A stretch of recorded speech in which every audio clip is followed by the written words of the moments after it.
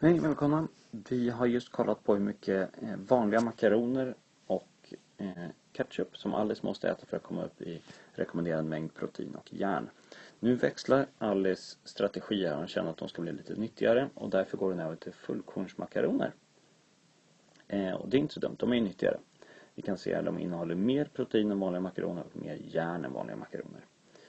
Hon kombinerar det med ketchup och vill komma upp i 80 gram protein och 15 milligram järn per dag. Och vi ska se om vi kan hjälpa henne att ta reda på hur mycket hon måste äta varje.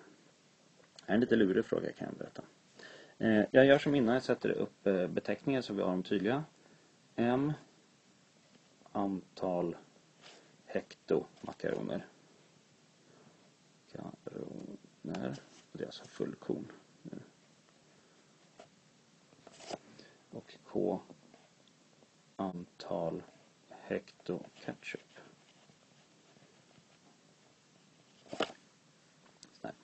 Jag skriver inte jättesnyggt på den här plattan, jag ber om ursäkt för det. Eh, då kan vi sätta upp ett ekvationssystem. Om hon äter M hekto makaroner, så, eh, fullkornsmakaroner, så kommer hon få 6 gram protein i sig från det. Så 6, oh, 6 gånger M så mycket protein får man från makaronerna. Och jag tror att det var 2 gram protein per hekto i eh, ketchupen. Det ska bli 80 gram totalt. Eh, och när det gäller järn så ska hon komma upp i 15 milligram. Hon får eh, 1,5 milligram järn för varje hekto fullkornsmakaroner. Och hon får 1 milligram järn för varje hekto ketchup. Så. Eh, det kan vi utgå ifrån nu och försöka ta reda på hur mycket makaroner och ketchup vi måste äta. Eh, jag skriver om det här ekvationssystemet och när jag löser det nu så tänker jag att jag ska använda substitution och jag tänker lösa ut det här K där för det står ensamt så det blir relativt lätt. Precis som jag gjorde förra uppgiften. Så vi får här vad då? Eh, börja med att skriva, den, skriva om den översta så jag kan lösa ut K. K är lika med 15 minus 1,5 M. Precis som vi hade innan. Jag ser den här och det. Eh, och den andra raden blir då 6M plus 2 gånger K. K är samma sak som 15 minus 1,5m. Ska vara lika med 80. Det är alltså det här jag har bytt ut nu.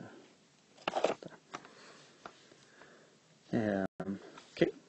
Vi jobbar vidare, kollar på den andra raden här nu för där har vi en ekvation med bara en obekant. Det tycker vi är trevligt. Vi får 6m plus 2 gånger 15, det är 30. Minus 2 eh, gånger 1,5m, det blir minus 3m lika med 80. Och det i sin tur är samma sak som att säga att 3m är lika med 50 eller m är lika med 50 genom 3.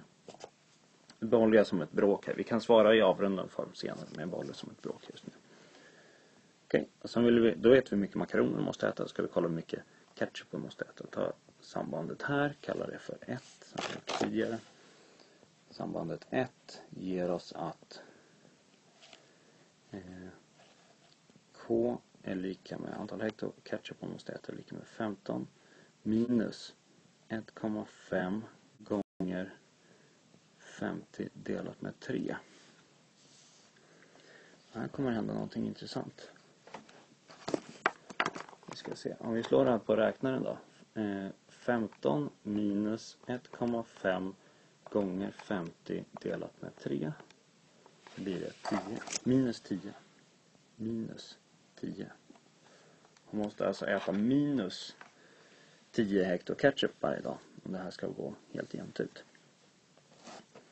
Eh, alltså M lika med 50 genom 3 K lika med minus 10. Det här är inte rimligt. Det här skulle betyda att Eh, Alice måste äta, vad är 50 delat med 3? Det är alltså ganska mycket. 50 delat med 3.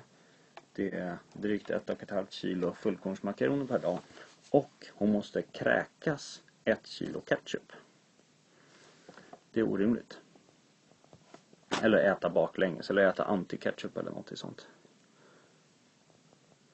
Orimligt. Eh, så vi får skriva det. Svar. Ehm, det går inte att äta bara fullkornsmakaroner och ketchup och få i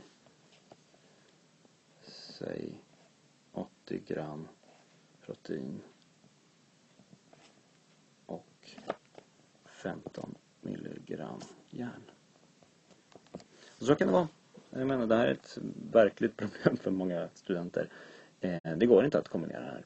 Ja, på det viset kan man ju tycka att det är bättre att äta vanliga makaroner då. Det, det är inte helt sant. Det, det, är inte så att man måste begränsa sig till 80 gram protein och eh, eh 15 milligram järn.